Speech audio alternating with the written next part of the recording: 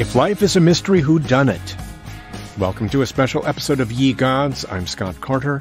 Today, the two-time Emmy-winning star of Everybody Loves Raymond, Patricia Heaton, will discuss with me a short HBO documentary from 2012 called God is the Bigger Elvis.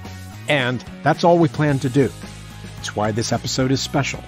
God is the Bigger Elvis is a 36 minute Oscar nominated film about actress Dolores Hart, who co starred in two Elvis movies and then in 1963 left Hollywood to join a convent in Bethlehem, Connecticut.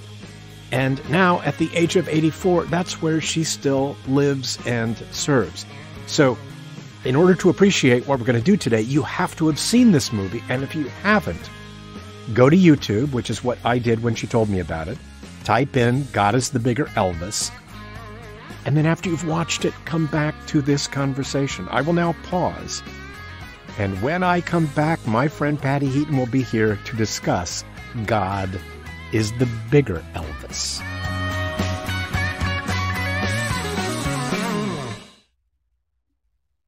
Okay, now that you're all caught up, with God is the Bigger Elvis. Welcome back and welcome, Patty.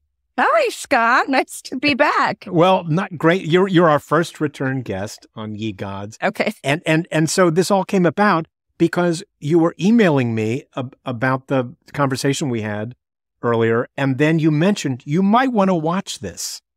And so. I did watch it right before we were scheduled to talk again, and I just thought let's instead of having the conversation on the phone between the two of us, let's do it for the wider public. And so my question is, when did you first see this movie? I think maybe when it was nominated for the Academy Awards for short films, I was really impressed that it was an HBO movie and that it was it had to be done by just women because only women I think could t- get that kind of access to this monastery of women. And uh, yeah, so I think it's when it when it first came out, and and there's footage of Dolores in her full habit as a, her as the prioress of the monastery at the Academy Awards. She went, Ah, and I believe I believe uh, that part of the reason they agreed to do this is because they needed to bring awareness so they could uh, keep the monastery going because nobody knew about it, and you know that's all I think donated funds that keep it going.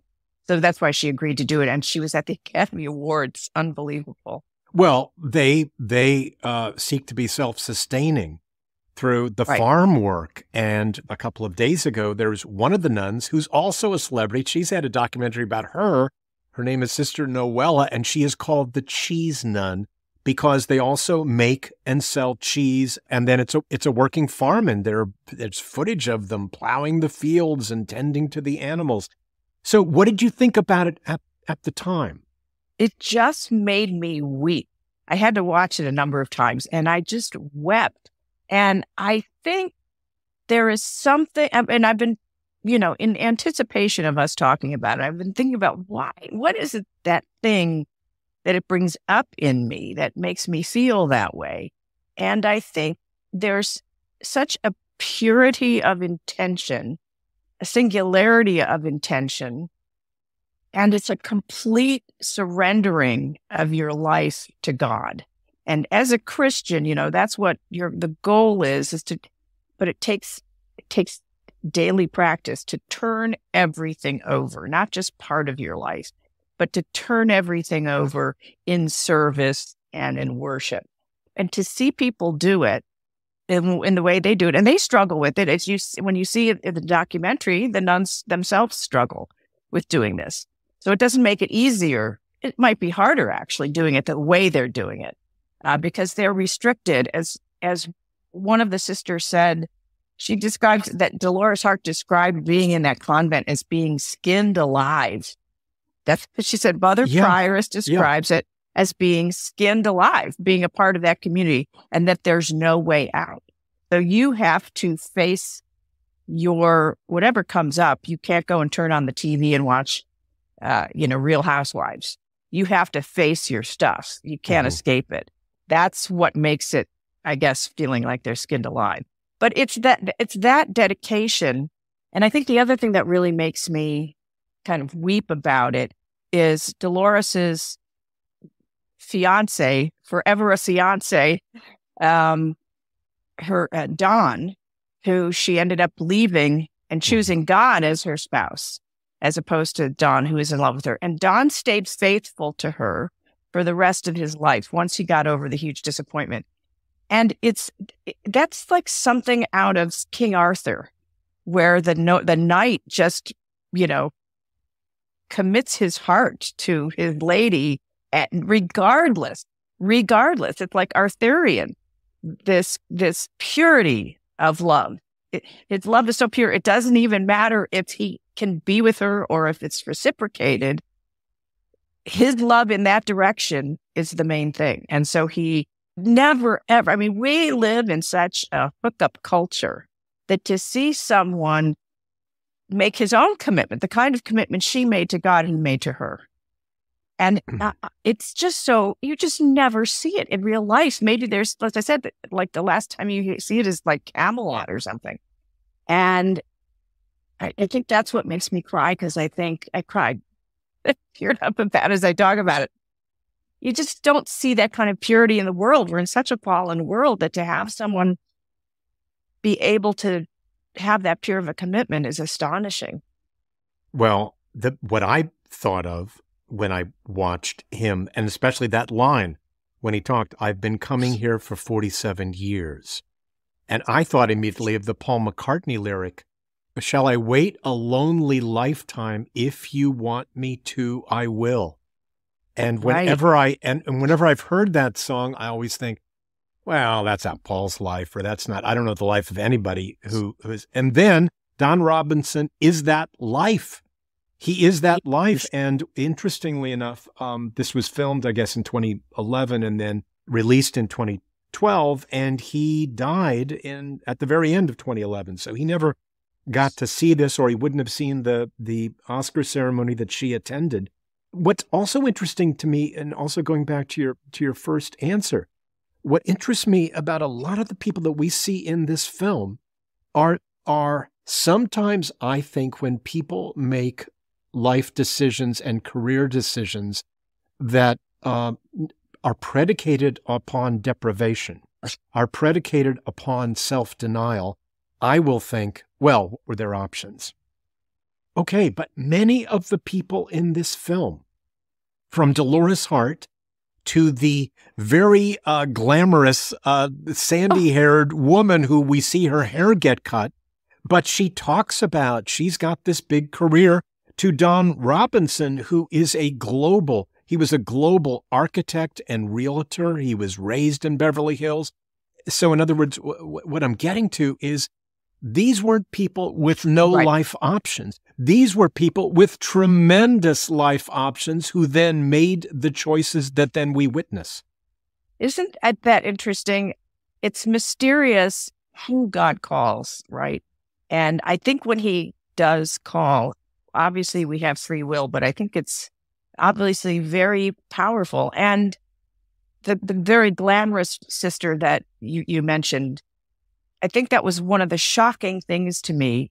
You see her initially in the movie in her habit, uh, talking about her life. And then they show you this picture of her from her past as a PR executive or an advertising. She had a lot of glamorous jobs. She's British. And she's in a leopard skin dress with a cigarette and a cocktail, and she's drop dead gorgeous and looks like she's having the time of her life in every picture that they show. And even when she goes to take her vows and enter the monastery, she's in this very bright red fitted dress with her hair done and earrings and the whole. I mean, she, to the very second that she took the vows, she was glamorous. She was fabulous. And that really shocked me when I first saw it. And I remember showing it to friends and they all gasped when they saw it the first time. So yes, I think it's it's very interesting that some people get it all like that nun and like Dolores, and it's not enough. I, I think you'll find with a lot of people that they when you get what you wish for, and then you think, now what? Or what's this all, you know, what's this all about, Alfie? Right. And I think these people were fortunate enough to really have that call. Like I, I almost think like I wish I had that. But for me, being on stage is where I felt really close to God. Like I really felt that was like a church for me to be on stage. So that I think that is was my is or was, I don't know if it still is because things change. Uh, my vocation and that's and this is their vocation and none of it is easy it wasn't easy pursuing acting and it's not easy pursuing the monastic life it's interesting also the glamorous nun as we shall identify her um, she talks about though she had this successful career she talks about alcohol and drug addiction and then she talks about how she still is in aa and how she does still does 12 step meetings outside the convent.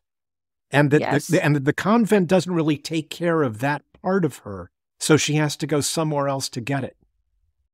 Right.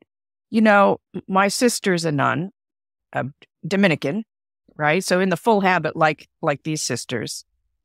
And saint dominic was a protege of saint benedict. So the dolores's uh, convent is a benedictine and my sister's convent, which is Dominican, but they follow the Benedictine rule because Dominic was under Benedict. I had a guy, I had an evangelical who uh, one time said, I said, you know, my sister's a Dominican nun. And he said, I had no idea you were Spanish. I said, no, no, no, St. Dominic. Okay, so when you saw this for the first time or on your repeated viewings of it, Mm-hmm. Does that give you insights into the life and career that your sister has chosen? Yeah, I mean, I was just with her for a couple hours yesterday. Um, so I go over and uh, you know see her, try to see her once a week. She's older than me, and she has uh, some physical issues. So I feel one of my, the the reasons I'm in Nashville spiritually is that she has a family member there that she can you know connect to. Because even though she has all these sisters that she's been with for years. It's nice. Family is different, right? Family you have that history with. So, and, you know, she's talked about, and uh, generally speaking, nuns don't become saints when they join a convent. They have different personalities. They don't, it doesn't just sort of bland out, you know, they have their own personalities. They have their own personality struggles and struggles with each other's personalities. Their life is pretty prescribed. So, for instance, um, there was a while there where they decided to try email, like putting an email address on their website for people to be able to email them and re- prayer requests, whatever. I think it lasted just a few months. They were so inundated that it disrupted their practice and they stopped because there were too many people and the, the, the focus for them is their practice. And they're also a teaching order. So they have, they run schools and colleges. But um, it's it's very much a prescribed life, and within that, as they said in the documentary, there's no way out. Obviously, you can always leave a convent if you know for whatever reason, but you are still a human being, and I think it's it might be even more of a struggle to live that life than to live out in the world some people think it's a cop out, like you're running away. I think it's the opposite. You're going right into the heart of our human struggle. One of the uh, phrases that is that Dolores says early on that interested me is that they deal with people in the widest range of suffering possible. And what she's offering them is hope. And she says, if you can find hope, you might find faith. Yes. And and then also it's interesting that you know uh, she's in Hollywood, but then she goes to Broadway to be in a very successful show, The Pleasure of Our Company, and she visits this convent almost like the way one would do a little retreat for the weekend or whatever right. to get away. This is where she goes and she begins to think about it. But she's even relieved when she brings it up to the Mother Superior who then says, Oh, this is not for you. You're too young and this wouldn't be for you. Go do your Hollywood thing. Yeah. Go do your, go do your, yeah, go do your shallow Hollywood world. Hollywood. And, yeah. and, but then after that, this is in her mind all the time. And then also with Don, and it doesn't tell how they met, but he proposes to her on their first date. And then she says, Well, don't rush me. They date for five years. And then they've got, because he's an architect, they have these pictures in the documentary of him. He's building the dream house like like Mr. Blandings, like Cary Grant. He's building a dream house for the two of them. And then Edith Head, the costume designer at Paramount, where her contract is, or where the movies that she makes are, starts designing a wedding dress for her. So even yes. though her intention was to keep this, uh, uh you know, on the DL, it gets out and then becomes almost like, I mean, in a mini version, like a royal wedding where it's a public event, not just That's a right. personal event. And then at the end of five years, she then makes this decision, breaks it to, to Don. And then he says to her at that moment, every part of my love for her was destroyed in a matter of seconds.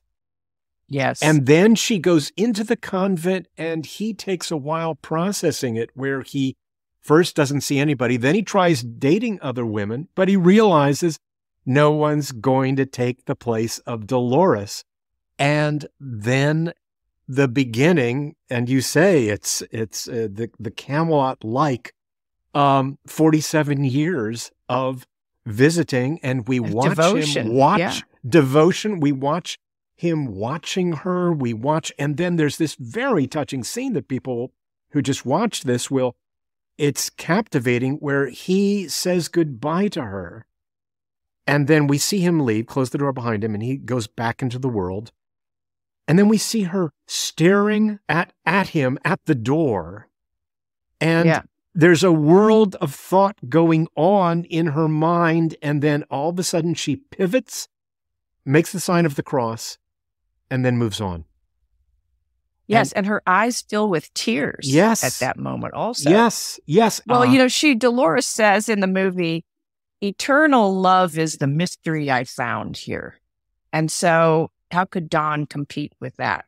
You know, um, yeah. And I think he realized it himself, right? I, I think he realized that he couldn't. He can't compete with God. Right? Yeah, she says I knew mm. I could, in the convent, I knew I could find my own inner certitude. And for most people, the notion of being alone with your thoughts is the worst imaginable torture. Yeah, maybe for some. You know, I I feel like I'm simultaneously attracted to everything going on in the world and also at the same time want to just leave it completely. I remember the first time I experienced uh, an earthquake in California. I was in my car at a stoplight. It, uh, I felt what felt like someone pushed the back of my car, bumped the back of my car because it started shaking. And I looked back, there was no one behind me. And then I saw the stoplight swinging, and I thought, "Oh, thank God, it's finally over." Because I assumed a big hole was going to open up beneath me and swallow me in my car. So, uh, you know, part of me, and this is what I was really just still kind of starting out and pursuing everything and excited about. But there was some very much deeper internal thing that was, that was waiting. I, I think, and I think this is, this is why I get emotional about this, waiting for this to be over. Like there's, and you would never think this about me. I I present and I am. There's a part of me that's like a very optimistic, happy person that loves to laugh, loves comedy, obviously. Uh, but there's this other whole side that is looking for that other thing, looking for the thing that the world can't offer. And and so are the tears being prompted by the sight of seeing those who have made a commitment beyond which you would be ready to do. Because I, I part of this life, I, you know, it would be interesting to have a whole other discussion. What's the purpose of life here, right? But part of it is we're flourishing as human beings. We've been given gifts by God, and we're supposed to use them and uh, to benefit others and to glorify Him and all that. The way that they are doing it in the monastery without the distractions of the world just seems like so great to me and and and I think we need that preparation because being in the presence of God, I think, is the truth about who we are is going to be exposed at, at the judgment, right? It's going to be, it's not really judgment. It's just all this, all the truth of who we are is going to be shown. And so they are kind of getting rid of the stuff in that, in that monastery. One of the questions I ask all the guests is, you think when you die, you think there's a judgment? And um, I do think there's a judgment. Or I do think it's right for me to be living my life as though there is. Well, yes, because I, I, I think judgment is is justice, right? Um, for I don't know if you've had actual flat out atheists guests. I can't remember. Uh, well, Sam calls himself an atheist, but he described it as not believing in the book, though. Right. He kind of tempered it. Well, he that, tempered it in a very interesting that, way. Didn't that, that blow your mind? That fast. Yes, it did because he had written several books, and I, you know, I was working at Real Time at the at the time, and uh, Bill was, of course, a big fan of all of the. Uh, and I'm going to forget the titles, so I will just say that to summarize them, it's like, of course, there's no God, or you're you're foolish to believe in God, or you you God, fools, yes, God, no way, or something. But a series of books along those lines and I'm going to get him confused yes. with Christopher Hitchens books and Dawkins books and others. Right. So when the, when the book Waking Up came up that I talk about in the Sam episode, it was the first yeah. book of his that I completely related to. And it was the first one that Bill did not like. And so that began my more intense friendship with not only Sam, but also his wife, Annaka. Um, you have been so exceedingly generous with your time. And I am so yes. grateful for this conversation. I, let me just end by asking in a couple of scenes when we see the cluttered, the tiny, cluttered, uh, bird filled office of mm-hmm. Dolores. Mm-hmm. On the desk, I couldn't help noticing a Hollywood reporter. And also, she's getting, uh, for your consideration, uh, DVDs. Do you think that some part of her is still competitive with maybe her peers back from 1963. What happened to Pamela Tiffin? You know, uh, right. what about Paul? What about Paula Prentiss? Uh, do, do, you think? I mean, what do you think goes through her mind as she leaps well, through the trades? Well, listen, she she was just a true actress, a theatrical actress through and through. That doesn't go away. That doesn't go away. I'm not surprised that she's the prioress, right? She became the head of, like, she's she's like me. It's like we go out there and we, you know, that just doesn't go away. What's what's surprising to me about that is I I would imagine she has special dispensation to watch those movies because they don't watch any television, as far as I know, in that order. Now, my sister's order, the minute they can watch, they'll have a group movie night and they'll pick something appropriate to all watch together. But, you know, for imagining Dolores watching those Academy DVDs at her office and voting, it's almost like cheating. I was a little bit surprised. You know, I'm like, wait a minute, wait a minute. That you're not supposed to be doing that. And, and that also yeah. in our research, we found that uh, Patricia Neal helped her found a theater. And so they're once a year, they're doing Fiddler on the Roof and they're doing uh, a Godspell and they're doing all musicals and and that she the now nuns? yes uh, well or i don't know it's not the nuns who are doing it but they're allowing they're um, presenting these these productions. Um, so so well, she's at so last kind you know of come full circle in uniting. Yes. Well well that old footage they showed from like the 60s when the young hippie catholics right. were coming there for a retreat could have been could have been your sister. all, like, singing it. Sister I mean, that's so funny, but there's, I, I feel like there was a lot of song and poetry and drama in that retreat that they were having there yeah. together, you know? Yeah. So, yeah, yeah, yeah. Or, or, yeah. or as they call it in, in, theological terms, fellowship. Um, uh, fellowship. Uh, Patty, the time always flies. I am always intrigued.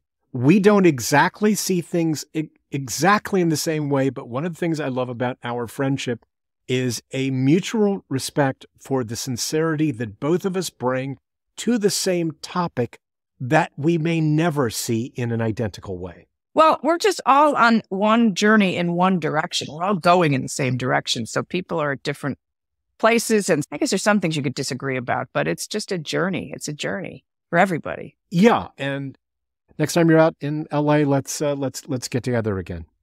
We'll do that. Yeah. Thanks, Scott. Thanks Okay. for having me back. I'm very honored.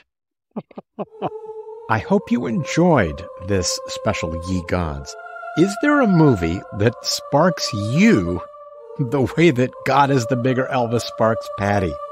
If so, please email me at yegodspodcast at gmail.com. Follow us on social media. Review us at Apple Podcasts.